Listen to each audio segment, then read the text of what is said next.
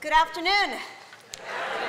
It is great to see everybody here. I am Chris Paxson, president of Brown, and this is just a very special event and a great way to open our new academic year.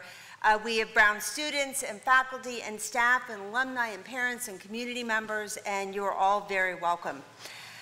Today, we are honored to have Brown's distinguished President Emerita Ruth Simmons here to discuss her new memoir, Up Home, One Girl's Journey.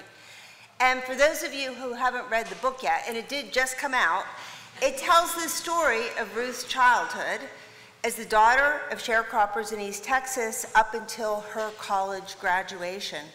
And we'll explore that story in more depth later. Uh, but first, I want to formally introduce her. And she doesn't, she could have a long introduction, but I think she's well enough known here that I'm not going to give her a really long introduction.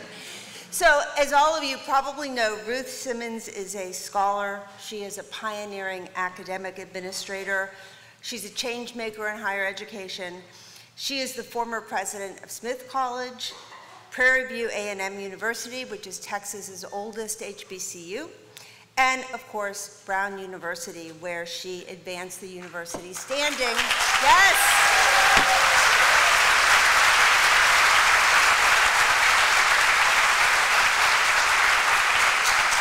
And I'm grateful for the work she did in setting Brown on a trajectory as, you know, excellence in research and education and everything that we stand for.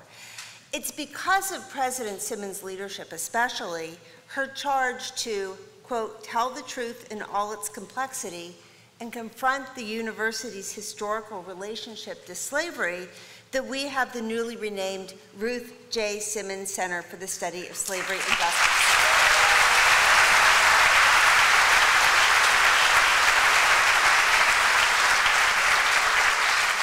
She's earned many honors over the course of her career, but I'll just name what I think is probably one of the most recent, if not the most. Uh, she was selected this year to give the Jefferson Lecture in the Humanities, which is the highest honor bestowed by the federal government for distinguished achievement in uh, the intellectual advancement of the humanities. So that's something really, really special, and I'm looking forward to hearing that lecture.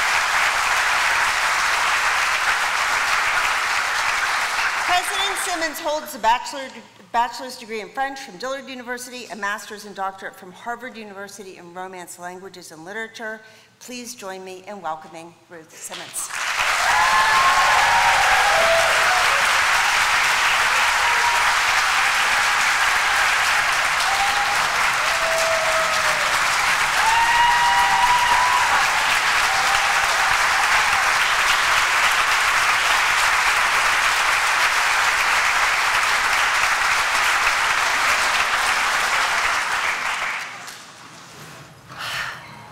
So welcome. Welcome back to Brown. Thank you. It's great to have you here. Uh, as I said before, you know, your memoir, it came out, what, just a, a couple days ago, literally? Yes. Yeah. And I was very privileged to get an advance copy, which I needed to prepare for this day. Uh, I read it in a single day because it was incredibly compelling. So for those of you, get it, read it, it's fantastic. Uh, and I just want to thank you for agreeing to return home, especially as we celebrate the Ruth J. Simmons Center. And it's, it's renaming and, and all, the, all those great things. Now, just for the audience, I'm going to focus my questions, and we'll start maybe 20, 25 minutes with questions on the book, which I expect everybody hasn't read yet. And then we'll open it up for a broader set of questions from the audience. And those could be about your time at Brown, they could be about current events, requests for advice, anything else. So think of, think of those questions, anything, anything.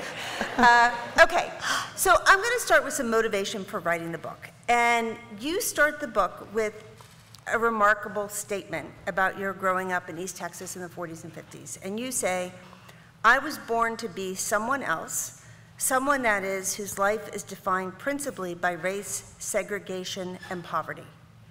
But then you go on to say that you wrote the book to explain how people and opportunities, mainly educational opportunities, really enabled you to move out of that preordained uh, uh, role that you feel like you, you were, quote, meant to play. Is there a reason why you decided to write this book now? Is it like historic? I know that you stepped down from a college presidency, so maybe you have a bit more time. But I assume that there are other reasons why a bit. Yeah. This was a good time to write this well, book. actually, uh, Chris, I started uh, writing it when I was president at Brown. Really? I did. but um, you, as you know, the presidency of Brown is pretty all-consuming, and I realized that I would not have the time to finish it, and so I returned my advance. Um, I don't know if they'd ever received an advance back, but I, I, I sent the money back and said, I just can't do it now. Um, and then I went on and retired. Okay. Um, when I started at Prairie View, it seemed to me that these young people were very much as I was at their age. And I don't think they understood the possibilities. There's so much bad news that happened while I was at Prairie View. Um, with the um, George Floyd incident, um, with um, the poisonous environment in our state, um, the um, really uh, revival of so much hatred uh, toward, um, uh, toward different groups in society. Um, and I sensed that they needed to hear something about our having been there before and um, about how it's possible to live through those difficult periods and be stronger um, in part as a consequence of dealing with them. Mm -hmm. And so I took it up again and when the pandemic came along, I had, we were at, home um, more, and I had time to actually finish it. So that's why it's coming out now, because the pandemic allowed me the time to right. finish it. If you had had the time to finish it when you were at Brown, how different a book is it because of the time in which you wrote it? Going through the pandemic, going through George Floyd, all of the other things that happened. Or maybe it would have been the same, I don't know. I, am not, I'm not altogether sure, because you know, as I start the book, uh, I'm really reflecting on how surprised I am at, the, at my age today that um, I have been able to have such an incredibly satisfying life. Um, and I start with a scene where I'm on the stage at Harvard, and the president is reading a citation about me. And in my mind, I'm seeing this spectral figure of a young girl, me, wandering about Harvard Yard, feeling out of place and unappreciated. Um, and the prospects for me at that time, when I was a graduate student at Harvard, didn't look very good because the faculty, in fact, in my department said there wasn't going to be much that I'd be able to do in this profession because what was a black girl studying French supposed to do with that, uh, with a PhD in French? I mean, come on. Um, so trying to persuade me that the thing that I loved most, the thing that I thought defined well uh, who I was and who I wanted to be, was all wrong as they saw it, right?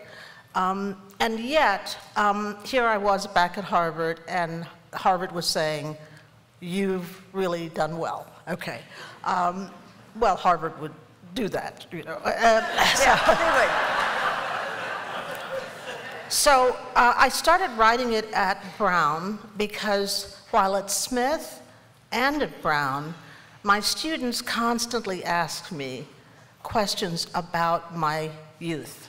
And they did so because when I was named president of Smith, the New York Times did a, an article about me that revealed for the first time for most people uh, that I had been born in certain circumstances that uh, people were unaware of. Mm -hmm. And many people, uh, when they see poverty and exclusion and um, the kind of life that I was born into, believe you're consigned to a certain fate as a consequence of it.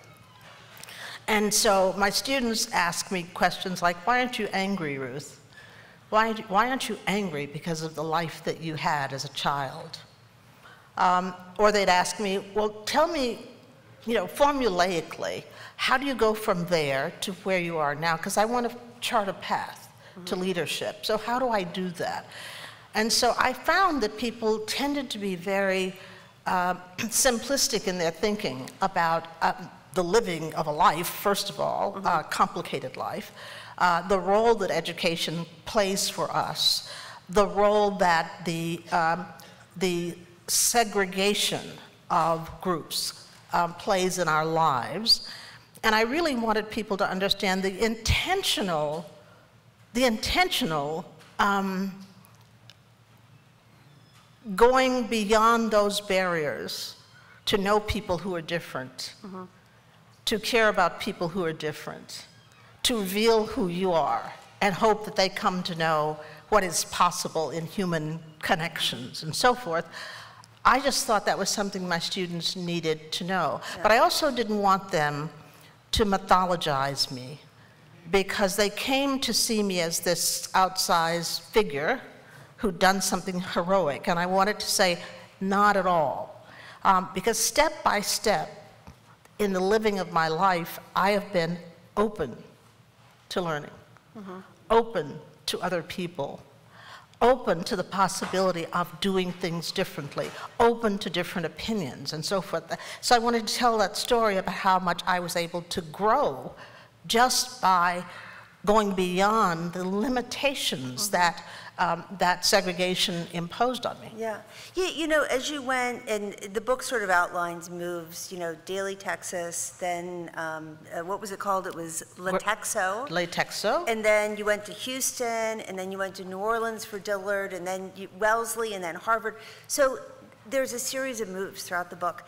And the intentionality was there, but I, I couldn't help but think about the role of happenstance and luck. I mean, you were born the 12th child. If you had been born the first, things yes. would have been, if your father hadn't moved yes. to Houston. They, and, and, I wonder whether, as an educator, that, you know, you were luck, fortunate to get opportunities and you wanted to have a role to give opportunities to others. I, I don't know how that factors into your thinking.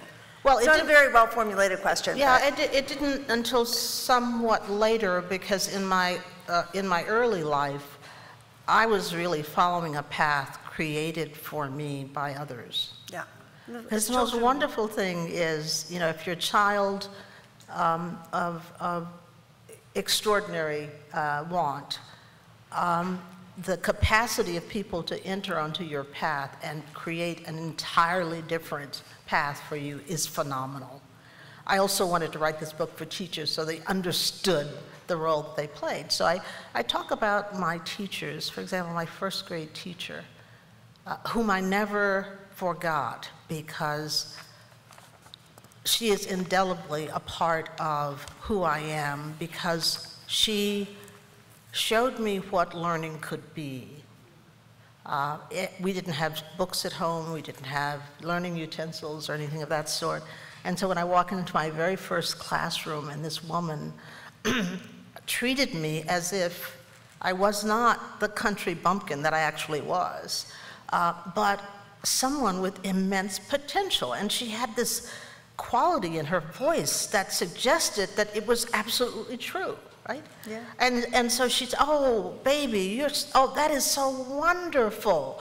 Imagine what that does when you are the youngest of 12 and everybody in the household thinks you're a burden. Uh, yes. and so, and so my, my sisters and brothers, oh my God, you know, we did not need another child in this house. Uh, and then I was quite, uh, I was quite difficult uh, and so forth. And, and, and what? I, I was very spoiled as the youngest child mm-hmm. and so forth. And so, uh, and I was different. I was never like um, everybody else. And, and so she was the first person to say, who you are is good. Mm-hmm. You have promise. And that started me on the path of thinking, well, school must be the best thing in the world because um, of that feeling that I got from her. And that was Miss Ida May, Miss right? Ida May. So, so it's funny because I, I was really struck by your description of her. And one thing that you talked about for her, and also other teachers, was um, how they sparked your love of the power of language and writing, which clearly has become a big part of your life. And you say of her, to be in the presence of a person who spoke so well was a revelation. I wanted to seize control of these words and make them work for me, which I thought was so wonderful. Yeah, well, I mean, when you were in the rural area, uh, imagine really in the 40s and 50s, um, you had nothing really. Um, and so uh, th- th- there, was, there, there was nothing of pride that, that you could possess uh, in that era.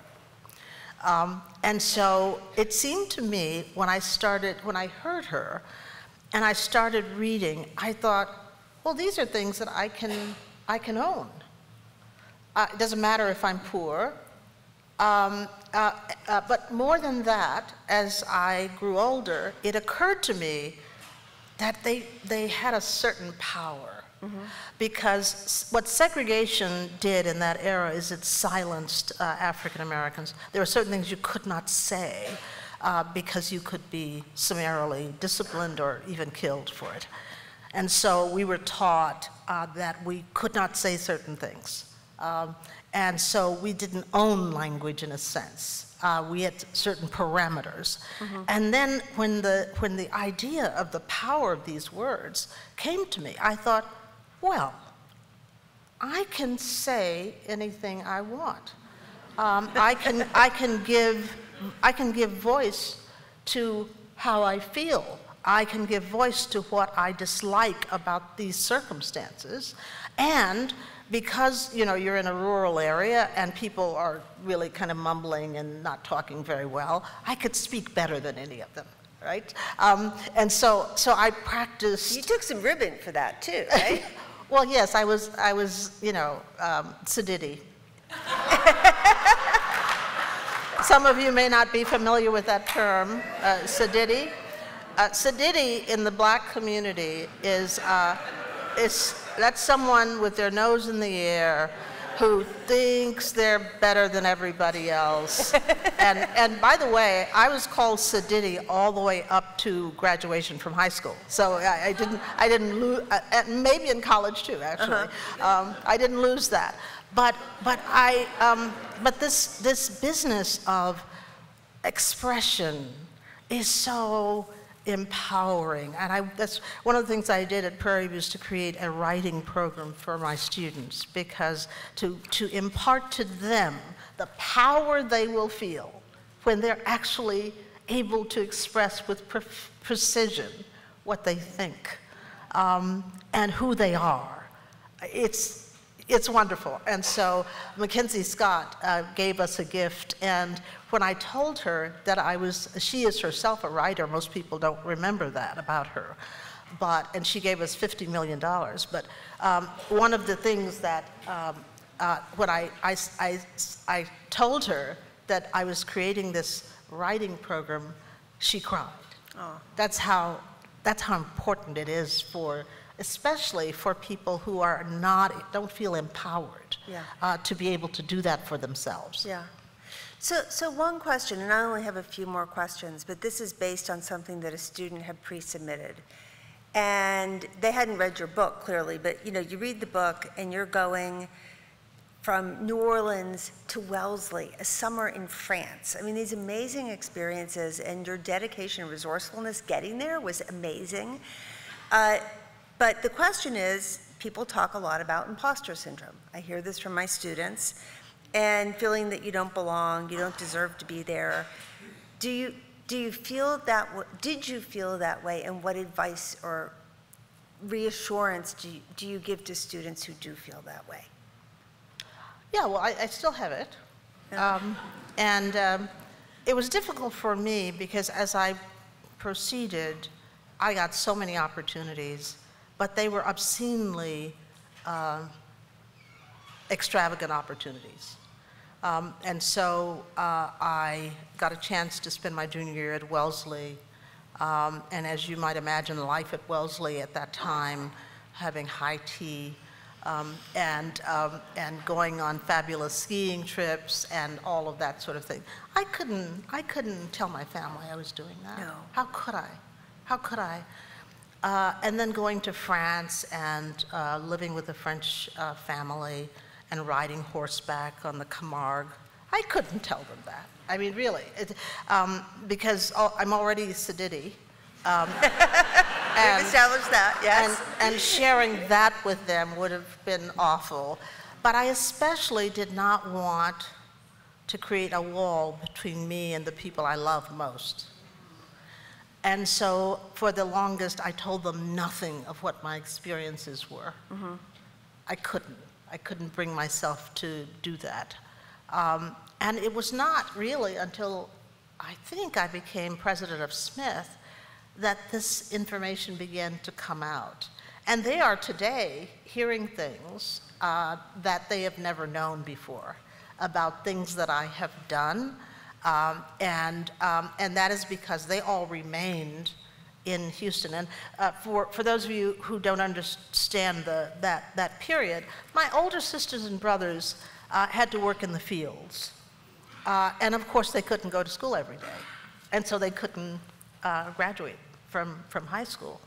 Um, the fact that we moved away from the small town when I was uh, uh, seven enabled me to go to school every day, uh, making all the difference in the world, of course. Yeah. But for all of the, um, the, the senior cohort of my sisters and brothers, they had to get a GED when they were adults because they simply didn't go to school enough. It was much more important to pick cotton and to make money for the, for the farms um, and so on. So, um, so I felt bad uh, much of the time when I was a student because I, I knew my family's condition. I knew they were living uh, close to the poverty line um, when I was doing these wonderful things, and it felt pretty, pretty bad to me, actually. Yeah. Um, uh, and, uh, and so, you know, I have tried to make up for that in incredible ways in my adult life. Uh, I, I bought all my sisters and brothers cars. Um, I, I, I've, I've done all, and nothing has helped, by the way. Uh, yeah, it's, I, I I don't think I'm going to be able to fill that chasm, uh, but, uh, but, but it, it, it does, it weighs heavily on one. The one thing I would say, I do say to my students, is that when you get an education and when you succeed as a human being, you're lifting everybody in your family.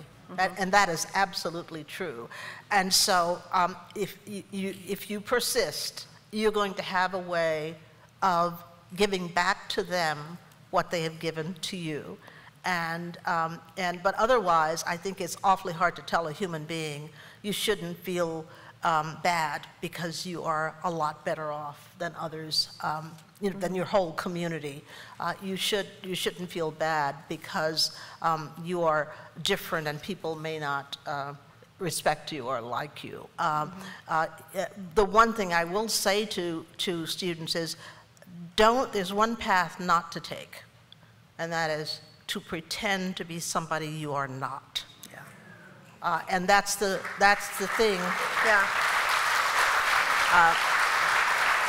That's, that's the thing that so many are inclined to do.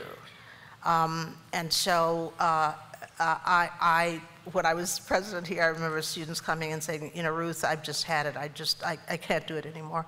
I am sick and tired of uh, people asking me about my hair and uh, telling me about this and so forth. And I just, I don't, I don't want to do that anymore. I don't, I don't want to have to suffer those indignities anyway, uh, anymore.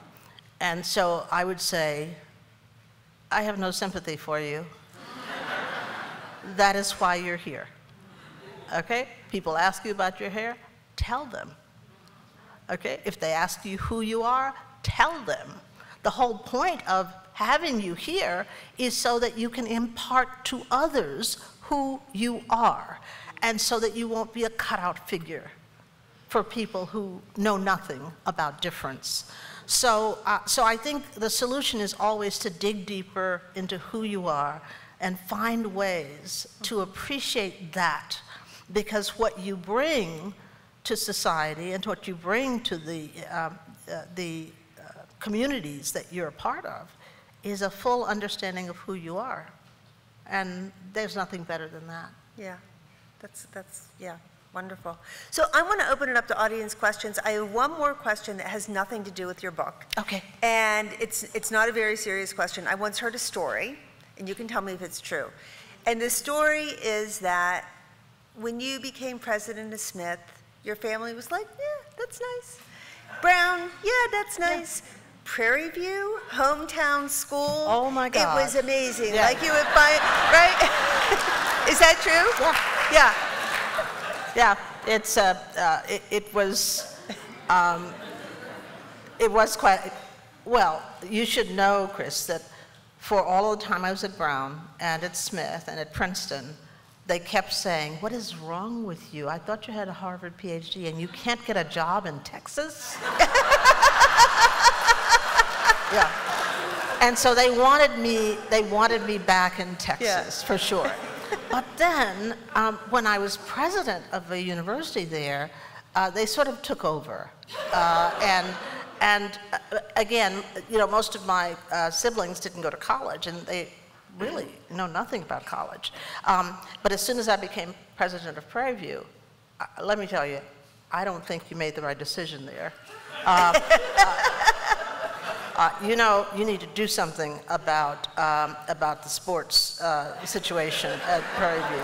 Uh, they gave lots of advice. Yeah, I'm Uh, sure. lots of advice about how to You gotta run- love families, Yeah, right? yeah, yeah, about how to run the university. And, and they, they went to everything. And part of it is that here's a family that has always been um, not really, you know, celebrated.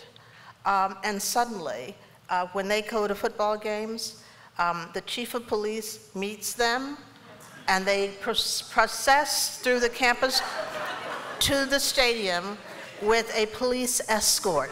Imagine how that feels to them. It's so lovely. Yeah, yeah, I mean, so I keep saying, oh, this is really nonsense. We don't need this. And they go, well, no, no, we want it. so sad. I'm glad so sad. Okay, I'm going to open it up to audience questions. Uh, I have actually two, two ground rules and one request. Uh, One is that, you know, people will be asked to line up behind these two microphones. I would ask that we give students an opportunity to be the first to line up, which would be really nice. And second, given that we do have limited time, please make sure your questions are in fact questions. And if they're not, I will cut you off. And, and then finally, just, it's great if you can just say who you are before you ask a question. So please come on down, and I, I have other questions I can ask if people don't want to, uh, come on, somebody has to be brave.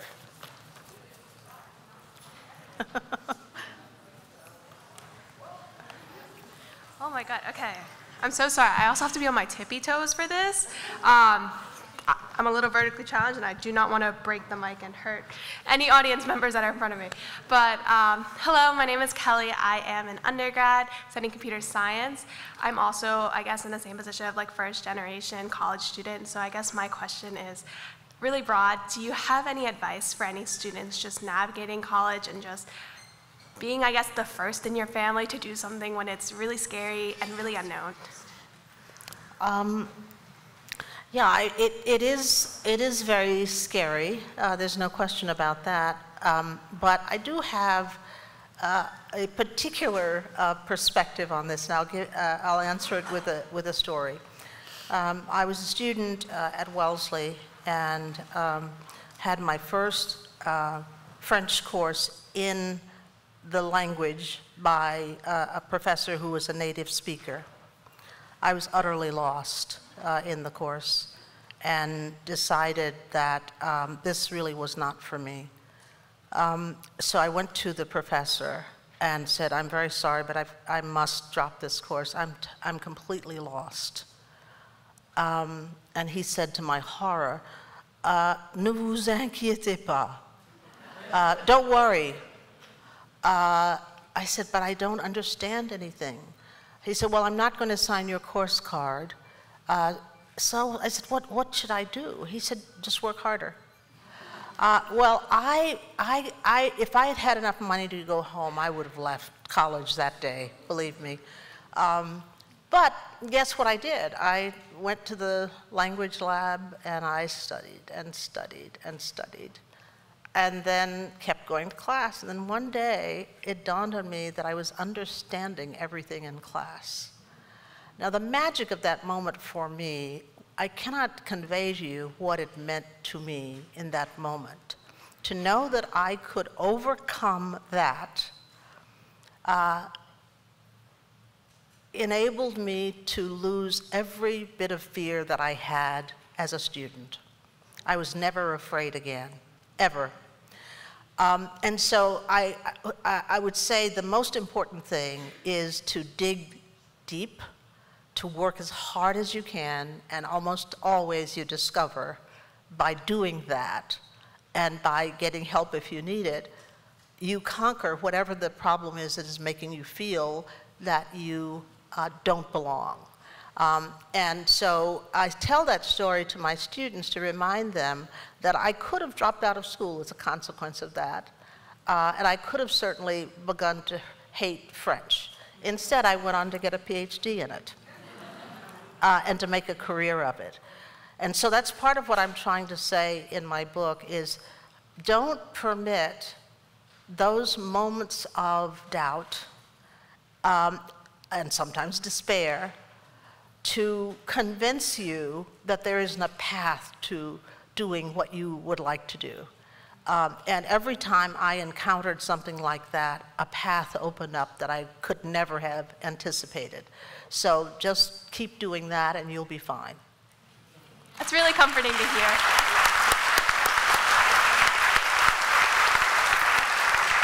Uh, thank you. Uh, for some reason, this microphone is much more popular than that one.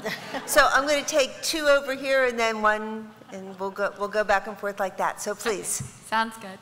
Um, hi again. I'm Sarah. I'm on student council. Um, so a related question. You know, based on your time at Brown and your knowledge of the university, um, and you know, Brown is ever changing, constantly fluid, always growing. What is something that you hope to see Brown continuing to work on over the next few years, whether it be students advocating for things or administration um, or a collaboration? What, are some, what is the thing that you really want to see Brown working on? Uh, thank you. Um, well, I mean, I think Brown is, is doing it. Um, let me say that I'm very concerned about state affairs in our country right now. And um, imagine growing up at a time when uh, there was so much division and hatred and violence, um, and now to see that returning to us. Um, I believe that universities remain uh, one of the few spaces in this country that can help to uh, bridge that divide.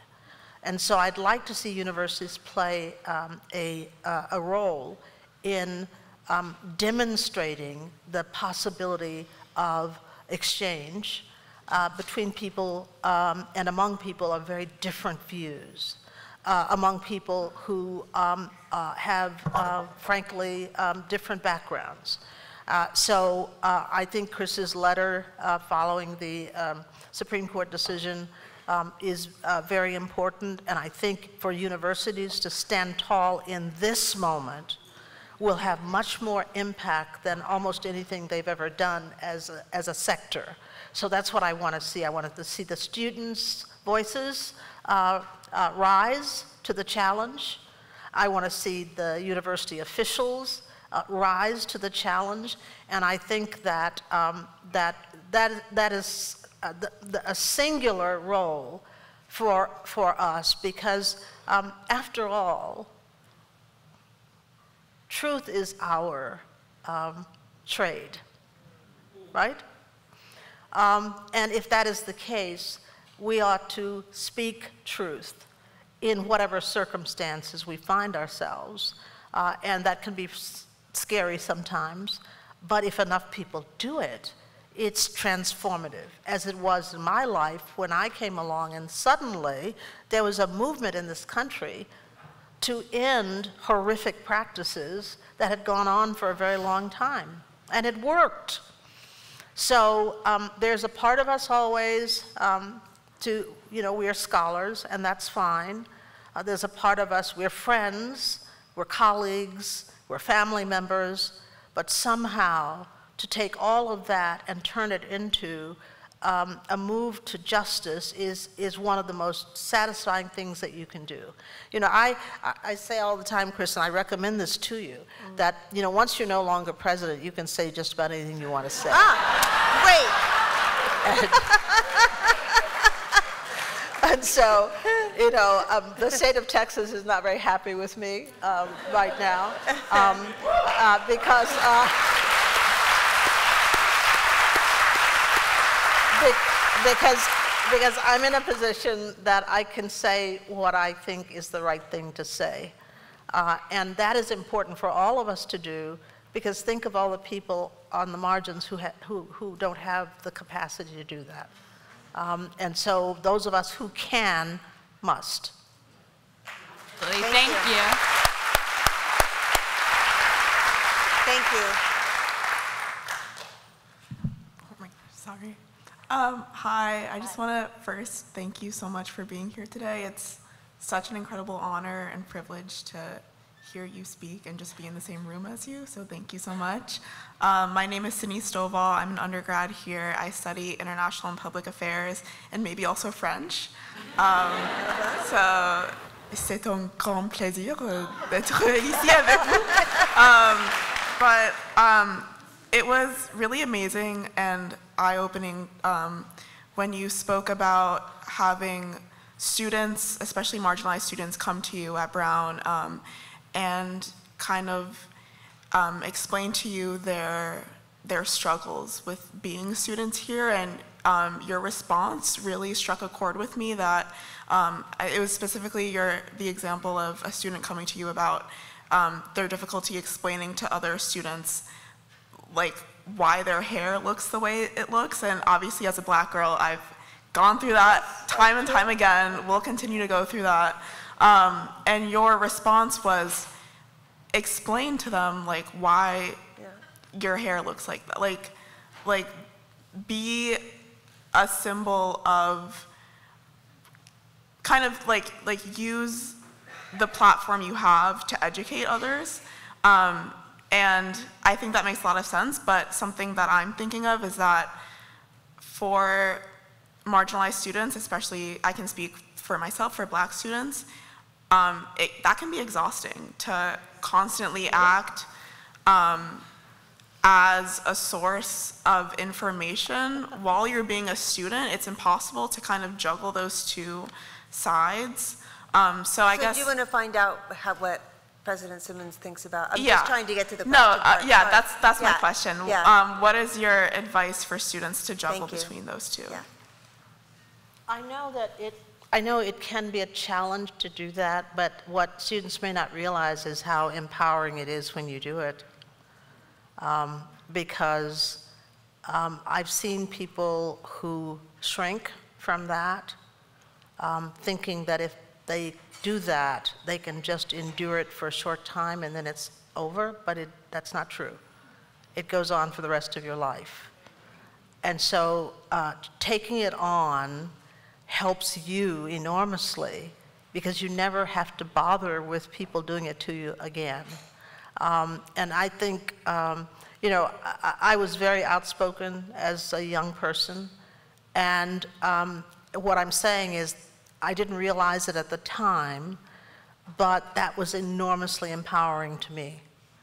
And it helped to create the person that I became because I didn't have to suffer in the face of those kinds of assaults. Uh, it was not suffering at all. And in fact, I would even say that today I deal with lots of different groups, and um, the insults can come even when you're 70 years old, so that they don't go away. But what can go away is your power.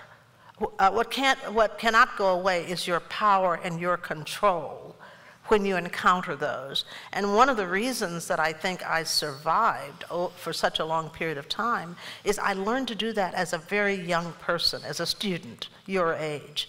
I remember when I was testifying in the Harvard trial, uh, the, uh, uh, the uh, opposing counsel was um, uh, trying to, um, uh, trying to um, really um, undermine my testimony. And he brought out a document and he said, Did you write this? I said, Sir, I don't know what it is. I, I'm not sure. He brought it over to me and I saw it was something I had written many years earlier. Many years earlier. Um, and I said, Yes, I recognize it. He said, Do you still believe this? I said, Well, yes, of course. I would say exactly the same today. Um, that is something that you are shaping right now as a student who you are, what you think, and how you express yourself. Okay? Take some interest in doing that and doing it well because you're going to be doing it for the rest of your life, I'm afraid. As are other people who deal with the same kinds of things but in different forms. Okay? Thank you. Thank you so much, President um, Simmons, for your words and insights. Um, I have yet to read your mem- I have yet to read your memoir that I just got from Sayles Hall, um, but I could already feel um, the really powerful impact of your words. And um, I'm Zoe, by the way, and I'm a first-year undergraduate student here. Um, and as someone kind of considering concentrating in English or literary arts or ethnic studies, I'm just wondering what the writing process of this memoir has been for you and how you had to contend with these complex emotions that you know, your history would bring up and, um, and I guess more specifically, how you stayed true to your commitment of telling the truth in your memoir. Um, that's uh, very perceptive. You, you, your first year? Yeah. It's good. Yeah. it was it was quite hard uh, to do, um, but we are all a work in progress. You know that. Uh, at whatever point we are in our lives, uh, we we still are becoming someone um, different, perhaps from who we are at at that moment, and. Um, I wanted more than anything to be very truthful in this because I, I could have everybody this is not the book people wanted me to write uh, people wanted me to write a tell-all book about my experience in higher education and they're still waiting for that book so they don't want they don't want this book um, but uh, but I wanted to be honest about all of the ways that I failed as I was coming along. Um, I wanted to be honest because I wanted my students to understand that you don't have to be perfect at every moment, that you can be perfectly awful. And I describe myself as being, having been perfectly awful as a young person um, in the way that I thought about things, and the way that I treated people, and so forth. Per perfectly awful. Um, but uh, because I had the opportunity to learn and to work out of that, um, I also had the opportunity to be president of Brown. Um, so, so I think what you want to remember is that at any given point, you are undergoing change, if you're, if you're lucky. Um, because if you're paying attention, you're encountering different people, you're learning constantly, then you have to be changing in some way, right? Because you cannot be perfect now, although you seem pretty perfect, but you can't be. you can't be. So, um, so there, the, the, magic of living is, is um, finding yourself at moments in your life where you surprise yourself, okay? And you surprise yourself because you had no idea you'd ever be um, uh, able to do something. You had no idea you'd ever be able. I, I find myself being surprised that I can be generous to people who are awful.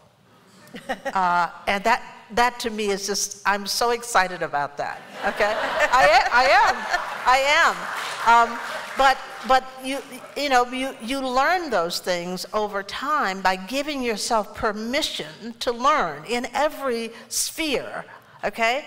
And, um, and so, you know, I'm, I'm trying to please my family because I was such a terrible person when I was young. And I'm trying to show them that I'm a better person. And actually, uh, on Monday, we had an event, and, and my family gave a talk, and they actually said I, I was, in fact, a better person. And, and nothing pleases me more than that. Okay, so so so read, um, delve into um, challenging areas. Um, uh, look for ways to learn. And I, I remember one sign of this for me was when I was uh, 17. I knew there was something wrong about our country in the way that um, people were treated. And I wanted to find out if every place was the same. And so I, I, I escaped. Um, so I got on a Greyhound bus um, when I was 17 to my family's horror and, and went to Mexico to live with a Mexican family at 17 because I knew that I needed to know something about the world and about other people. And uh, try things like that. Do something um, that gives you a different experience from what you're accustomed to. And when you find yourself sinking into a mold where you're doing, you're feeling very comfortable and you're doing the same thing over and over again, um, then you should be afraid, okay? Because you're probably not going to be growing in the way that you should. So, so can I, yeah, that. Look, many of you haven't, she does not come across as awful. You weren't awful, and uh, maybe sometimes a little obnoxious as a child, but not terrible. But, but the thing that really struck me was just how brave you were. I mean, the bravery of getting on that bus, doing the things you did, um, getting up on stage and acting. Where did that come from? Was that just you, or was it Well, influence of family uh, members, or? Well, probably the most important thing that happened to me uh, when I was young is my mother died. And I was completely lost for years, for years. And there was no such thing as grief counseling or no help at all. Uh, but I felt enormous guilt uh, about my mother's death because while she lived, I didn't recognize her for who she was. And when it dawned on me that this person had shaped everything about me and that she'd given me the means to live a dignified um, life, I was, I was broken. Um, and so everything that I did from that point on was about trying to live up to what she taught me. And one of the, the fundamental things she taught me was um, never to see myself as better than another human being, to respect everyone, everyone, no matter what. Uh, and oh my God, if that hasn't been the central element of my uh, of my life. I I'm, I don't know what is, uh, and so so I was lost. I just couldn't figure out what to do. And one of the things that theater did for me is it gave me a place to hide because there's nothing better than acting a part. Um, in a play that helps you escape reality. And I think I say at some point if I'd found the right character, I could have sunk into that character and never reappeared again. I, I was in such desperate need of becoming someone else because I couldn't deal with the grief that I was going through. Um, and so, uh, so I, I, but I was pretty awful. And, you know, uh, and by the way, uh, this, it's not just my saying it, but I remember when I became president of Smiths, uh, 60 Minutes did a piece on me, and Morley Safer came down to Houston to interview my family. and, and oh my God, they said, and he, and he asked the dreaded question, what was she like? Uh-huh. and they went on about how horrible I was. Okay, so I know I know I was horrible. Okay, okay. Yes, please. Thank you so much for being here. It's really a pleasure. Um, my name is Susan, and I'm a member of the, I think what you call the Greater Brown community. By some stroke of sheer luck, when I moved to Rhode Island for the first time last year. um, and it's, it's a great community to be a part of. Um, I am a lifelong learner and I hope forever curious. And um, so I'm still a student, student forever, and I am, I reflect a lot on my own undergrad and, you know, other educational experiences in my career. So I'm fascinated with, number one, young people who you must truly um, exemplify, who are focused enough to actually accomplish something in youth. I'm still trying to get there. Um, and the two questions that I have are how, first of all, how would you describe your friends, the people who were around you when you were young at Brown and different institutions that you were part of um, as you progressed through your career? And very critically, how do you find and cultivate mentors? I think those are two things that I've totally always not been able to do, and I'd like to know how you, how you did that. Thank Well, I was, I was lucky after having um, a spate of extraordinary teachers. Um, I was lucky, uh, and after my experience at Wellesley, I was lucky to come to understand that um, mentors weren't always the people that you might expect to be your best mentors. And I often talk about um, a person who was a great mentor to me, uh, Aaron Lemonick at, uh, at Princeton, who um, uh, told me my work was the worst he'd ever seen. And uh, when he said it, he kicked the ca- file cabinet to emphasize how disgusted he was with my work. I knew him. You knew him. I could So imagine you- that. yeah. Yep. But he was a dear man to me because he did something wonderful as a mentor. And that is, he told me the truth. He told me what I needed to know as opposed to what he thought I wanted to hear. And when you're on the margins of society, people, um, you know, uh, take certain classes of individuals and they, um, they placate them and they infantilize them. Oh dear, uh, you're doing fine. Don't worry. Okay. Um, oh yes. Well, this is this is quite good. Um, uh, and so I say to my students, if you have a professor like that, run far away and get to a course where you can have um, a professor who tells you what you need to do to improve. Um, and so my mentors have been people often who have been quite hard on me, but they are precisely the reason that I've had the wonderful career that I've had because Aaron Lemonick is the person who talked me into becoming a university president. Uh, I had, Smith came to me uh, with an offer and I decided I, I would not take it. Um, and Harold Shapiro, who was president at uh, Princeton at the time, had given me an offer to, to stay at, at Princeton. Um, and I decided, well, I'll stay at Princeton. And Aaron Lemonick took me to lunch and he read the riot act to me.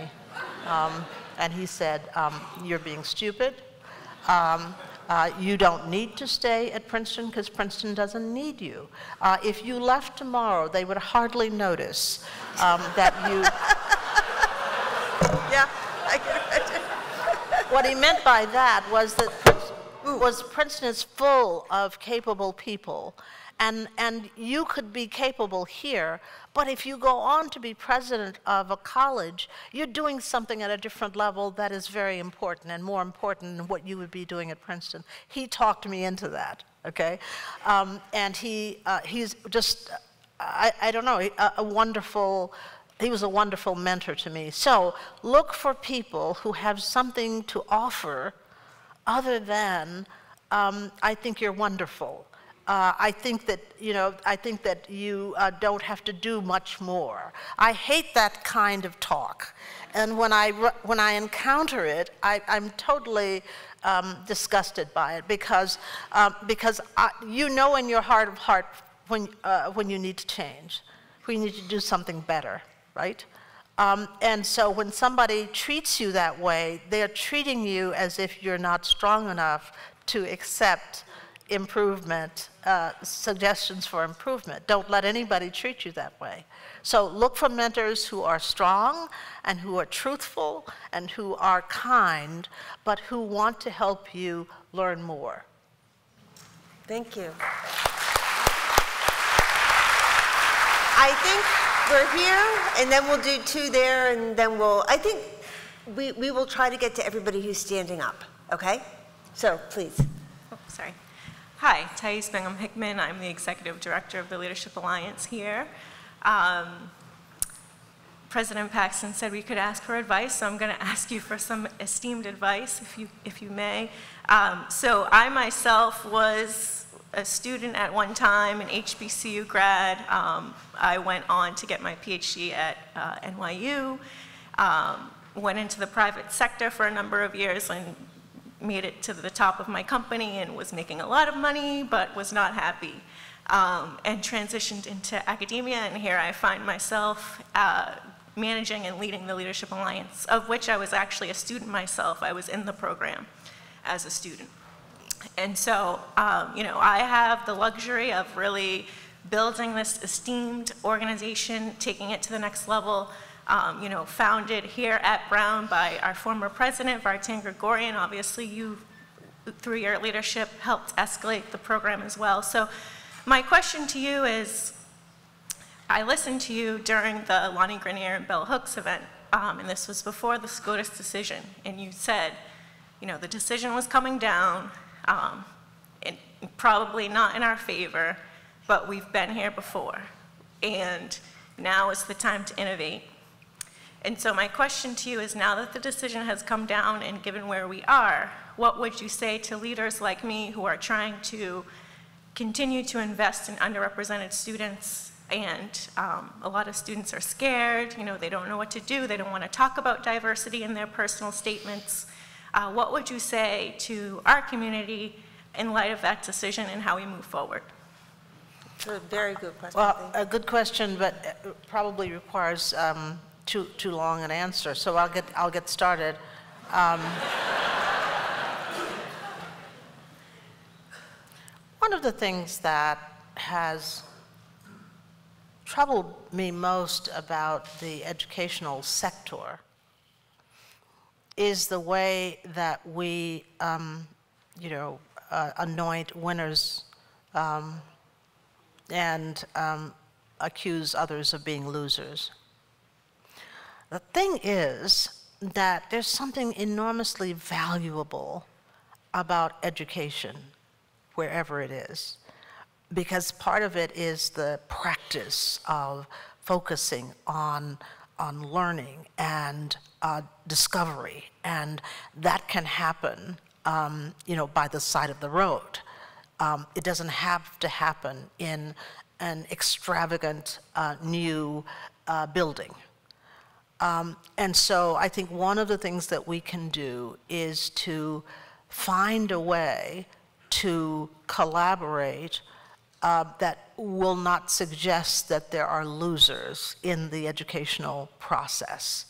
Um, students would be a lot happier, industry would be a lot happier, people would be, wouldn't be labeled as much as they are um, today as a consequence of where they went to school uh, where, they, where they studied and so forth.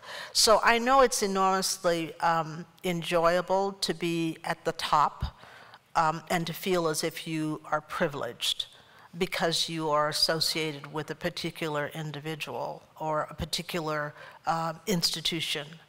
And that's why I keep going back to other kinds of institutions and saying there is merit to what you're doing here.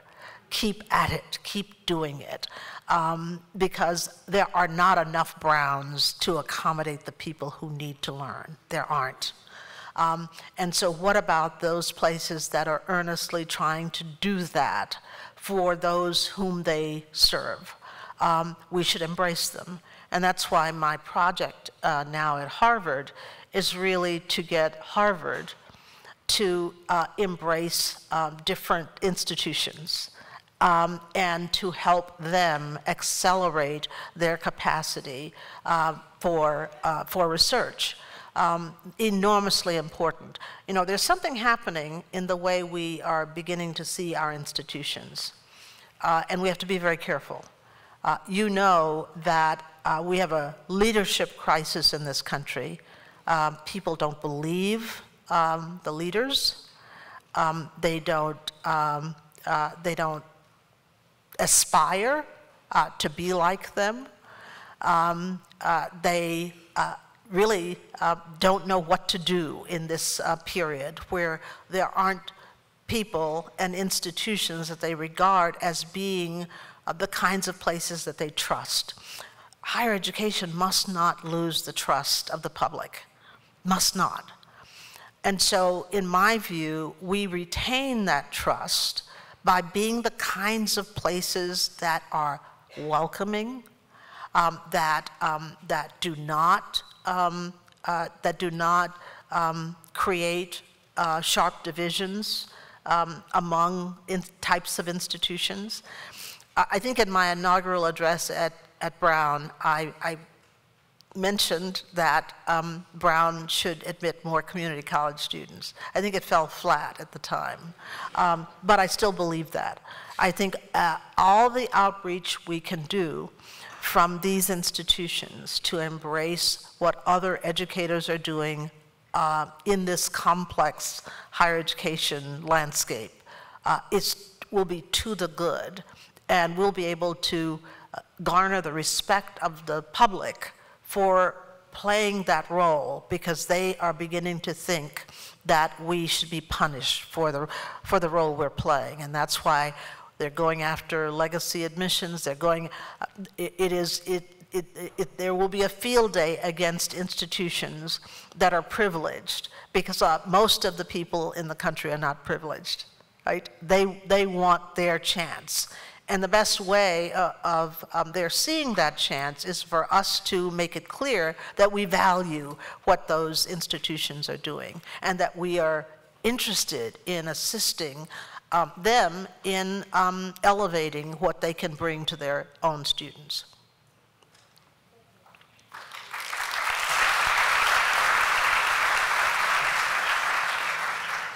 Uh, thank you. Uh, my name is Aya. Um, I'm a uh, Brown grad, uh, class of 2013. Um, so I had the uh, pleasure and the honor of being a student under your presidency as well as um, under uh, President Paxson. Um, I'm also on the Brown University Community Council under uh, Paxson's leadership. Um, and first, I wanted to just thank you. Um, thank you not just for this conversation, but thank you for your example. Um, as you've talked about your family and your upbringing, I'm the middle child of a uh, five kid household raised by a single dad in Boston, um, grew up low income. So the power of your story really speaks to me. I was the first of my siblings to, to graduate from college. Um, to this day, I'm the only bachelor degree holder in my, uh, of my siblings. And absolutely, much like your story, educators played such a critical role in inspiring and guiding and getting me to where I am. Um, black women educators um, are why I am here today. Um, and coming to Brown, seeing you, having you as our president, the first African American president of an Ivy League institution, was the example and inspiration I needed um, and continues to inspire me today. Um, so thank you. Um, and my question. Um, so I'm a Brown grad. You were almost at the time limit, I got but you. I didn't do I it. got you. I got you. I'm a brown grad, but I'm also a millennial, so I'm very, very idealistic.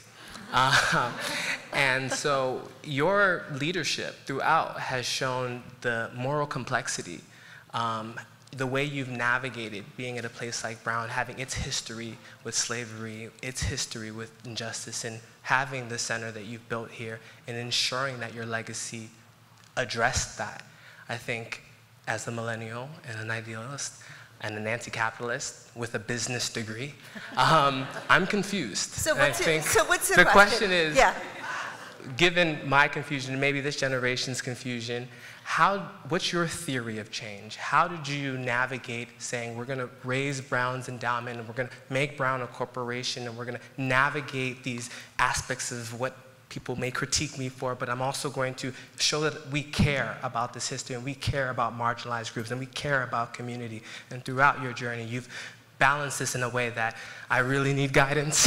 um, how did, what's your theory of change? How have you built it and how, if and how it's changed over time to allow you to have the impact that Well, you've had? I, will try to do this um, briefly, but uh, to me, um, everybody worries about, um, about change in other people.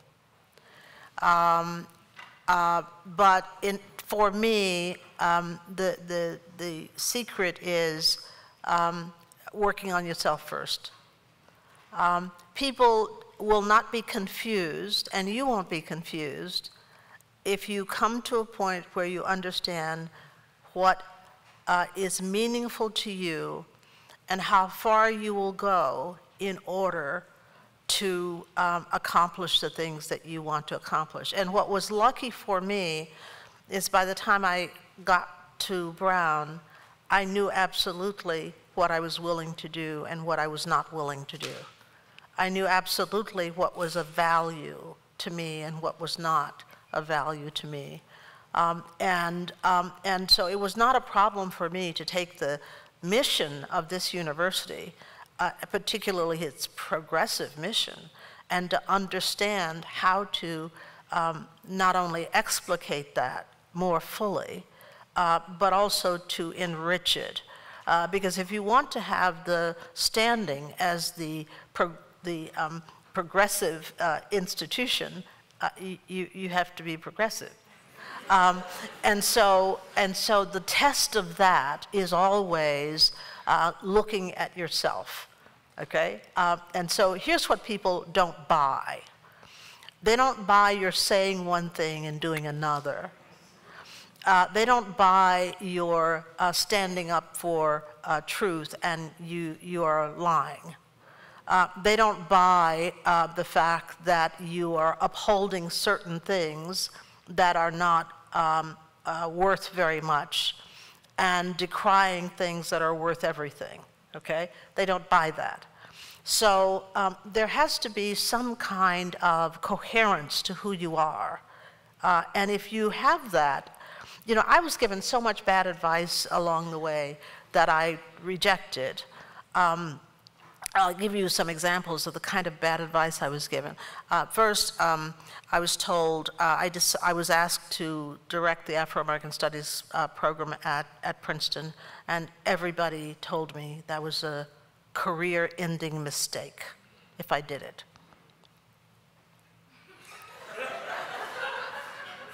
well, you know, I, I, could have bought that, but I didn't, okay? Um, and so I I directed Afro-American Studies and, you know, to get it on its feet and to start its, its progress. Um, uh, and what happened as a consequence of that? Uh, I didn't know anything about Afro-American Studies because I, I, I did French, right? so, but here's what I did know.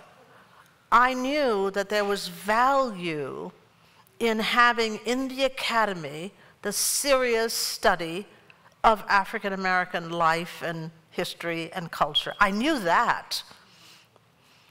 And I accepted it ultimately because I knew I would be the person who cared most about representing that to the community at Princeton and then following up on it. Um, and so, so knowing who you are, I knew that about myself. I knew that I didn't have any business directing Afro-American studies because I knew nothing about it but I also knew that I cared about it and I cared about its standing, and so that's why I did it. I was told when I, I, left Princeton to go to Spelman because I thought, well, it would be wonderful to go to an HBCU and to try to help an HBCU. So I left Princeton. Oh my God. People at Princeton said, oh, that's a career ending decision. if you go to Spelman from Princeton, you'll never be able to um, recover from that mistake. That, that's what they said, okay? But I knew who I was, and I said, this is something that's important to do. I think I can do it, and I will do it.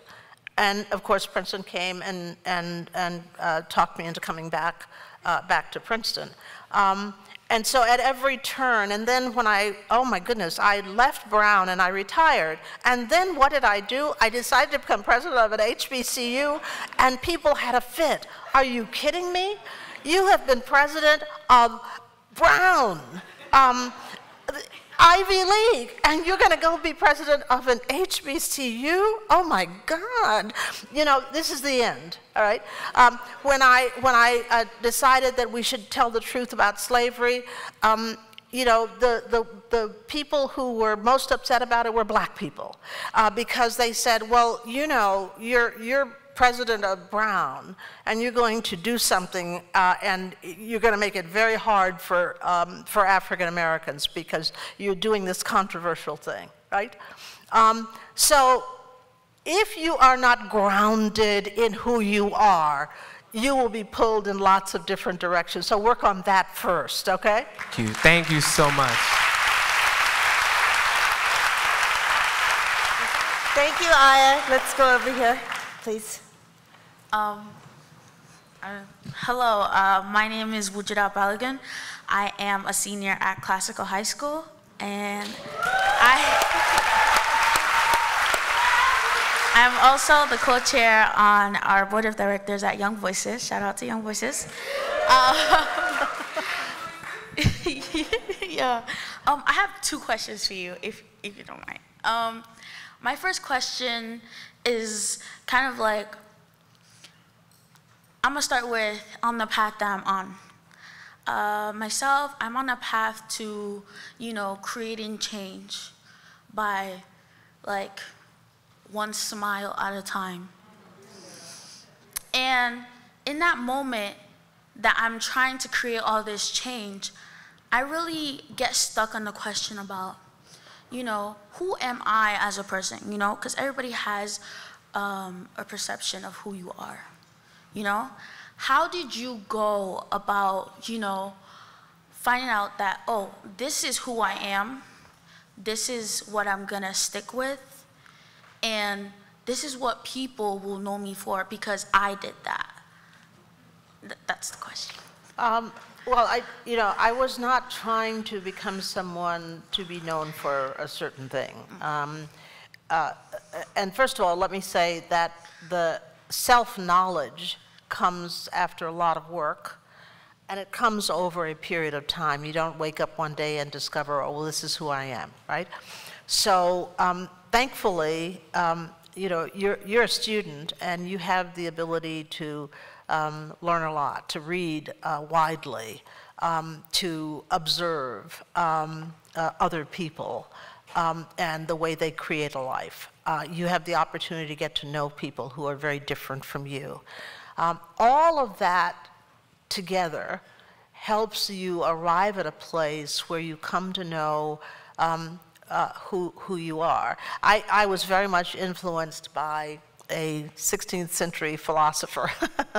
that sounds silly, I know, but um, uh, who wrote uh, wonderful um, uh, pieces that uh, were um, meant to reflect on everything that he experienced.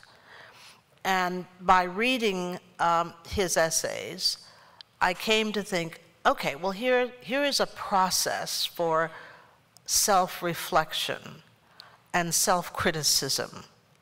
Um, and I learned to try to do the best I could to imitate, imitate that process. Um, and it was very helpful to me. Um, question yourself. Uh, why did I do that? What was that all about? Um, uh, should I do this or should I do that? Um, what, is the, what is the context for what you're doing? Um, if you don't have a reason for what you're doing, that's a good indication that probably, um, uh, you know, the, that, that it's not anchored in, uh, in uh, reason. It's not anchored in uh, some um, um, motive that you have. So, um, so you know, I may be do I may do this in the extreme, reflecting on what I'm doing. And I, I, I did that as a young person. I do it even today. So when George, uh, George Floyd um, uh, occurred, uh, I, was, I was very um, moved, and I knew my students were even more upset than I. I wanted to say something to them, um, but I didn't want, I didn't know what to say. Very much like when I was here and 9/11 occurred, and being president at those moments, it's very difficult to know what to say, because you know your role is first of all to comfort uh, students and to give them something to hold on to. And so, but I, what, at moments like that, I always turn to what I feel. Um, and I want my students to see what I'm feeling. And that's the way I relate to them. So, what I did was to think about what I felt should be done in that moment. And I wrote a letter to um, the students telling them how I was feeling and what I thought we should be doing as a consequence of that. That was that's my way my way of doing it. So um, you will develop uh, ways of uh, coping in moments like that, uh, but when you do cope in moments like that, you'll begin to understand who you are. Uh, on 9/11, uh, we um, there was some discussion of canceling uh, classes, and I said no immediately. No, um, we must not cancel classes because I didn't want the students going back to their rooms uh, in that moment. And so we met on the green instead. Um, so a lot of it is instinct based on uh, the way you cope, uh, on the experiences you've had, and that's why it's so meaningful to have a variety of experiences because you can relate to people better if you have had a variety of experiences. So good luck to you. Keep smiling. President Simmons, thank you so much for coming. Um, as you know, I was an undergraduate here many moons ago, and it meant so much to me that you would take time to talk to students like me who would ask about their hair and all other sorts of things as an undergraduate trying to navigate the space here. And so now I am an Associate Dean um, of Diversity, Equity, Inclusion here in the School of Engineering. Um, and I just started a month ago, so it's, it's um, very surreal to be here and, and such a true honor uh, to have had you as our president and now uh, President Christina Paxson. Um, and as you know, um, my, my story is uh, similar, the background of my parents. So my grandmother was also a sharecropper. Um, and she only had maybe a seventh grade education, and now to be here is just, you know, the whole story. Maybe I'll write a book one day too, right? You can maybe give me some tips on that. But um, I know that you helped to start the engineering uh, uh, program at Smith College, and that was just such an inspiration to me, especially now that I'm, you know, here in engineering and an, I'm an engineer myself. Um, and I just want to know, uh, from that experience, what did you learn about developing a school of engineering? What sort of advice would you give to me as a new associate dean? Um, just things that you wish you knew during that period. Wow. Um, well, you know, I, um, I had the conviction that uh, at that time women um, really had a struggle uh, in engineering. And uh, I wanted to um, uh, make it possible for uh, Smith students to get a good start um, in engineering and have the um, confidence that they would need uh, in a profession where they were often seen as less than. Um, and so, uh, so that's really the reason that I started it. And, um, and I'm really uh, pleased that uh, we started it and it worked out uh, so well. But there was, there was considerable opposition to it, of course, because um, the question was, well, you know, we're a liberal arts college. We don't do that here. And look out for people saying we don't do that sort of thing. Okay. Um, and, and so uh, it's well ensconced uh, there uh, now. Of course, I love it because when I go to Smith, the engineering students always line up and hug me. Uh, they, they're so happy uh, that they're, they're in that program. Um, I think the only thing to remember is that engineering is, um, is a challenging uh, profession still um, and it's challenging for many different groups. Um, I, I, know this because I'm often asked to speak to uh, engineering companies And when I go in and I talk to them, I hear the experiences they are having. Um, and it still can be very, very um, much a struggle, especially to advance within engineering fields. So I think what you want to do is to remember that it's not just a profession, that it's all about who the people are. So you have to, you, you, you have to help students understand they must develop themselves uh, in order to be uh, ready for the profession that they want to um, that, that they want to uh, practice. Uh, and that's true of any profession. It could be true of law, it could be true, true of medicine.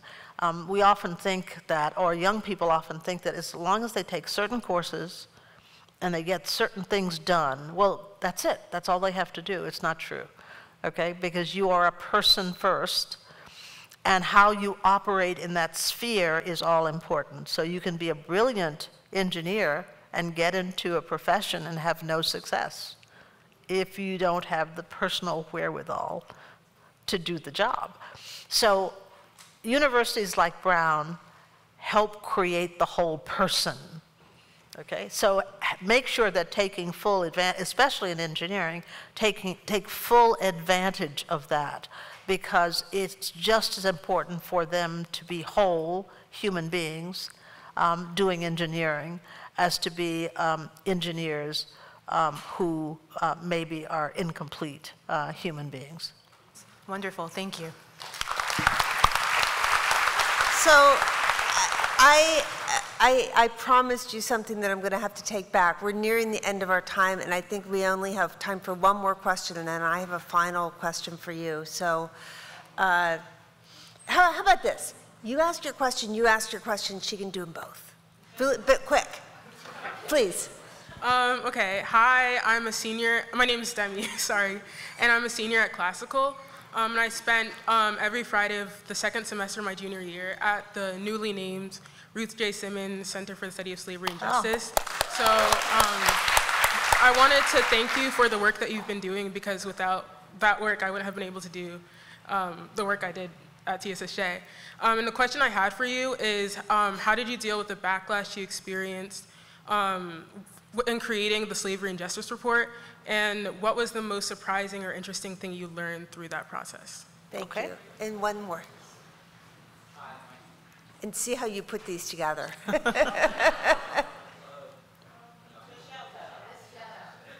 Um, hi, my name is Jared Webb. I'm from Montgomery, Alabama. I'm a first year graduate student in health equity scholar studying public health here at Brown University.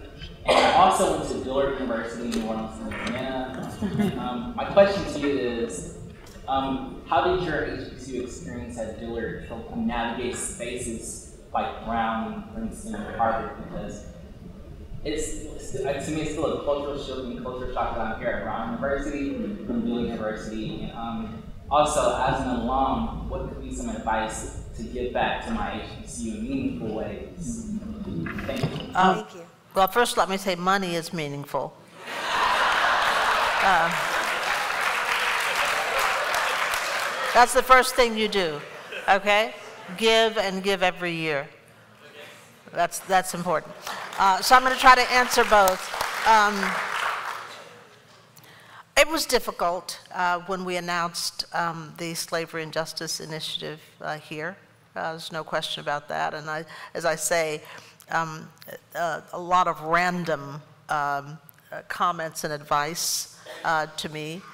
That, was, that was the moment that I first had a, an officer stationed outside my house because people from all over the country were interested in, in this and, um, and, and seemed threatened by it. Um, and so um, really, um, the only thing that I could do at the time, I knew it was a perilous moment, I knew that, but the only thing I could do at the time is to continue to elevate people's perspective.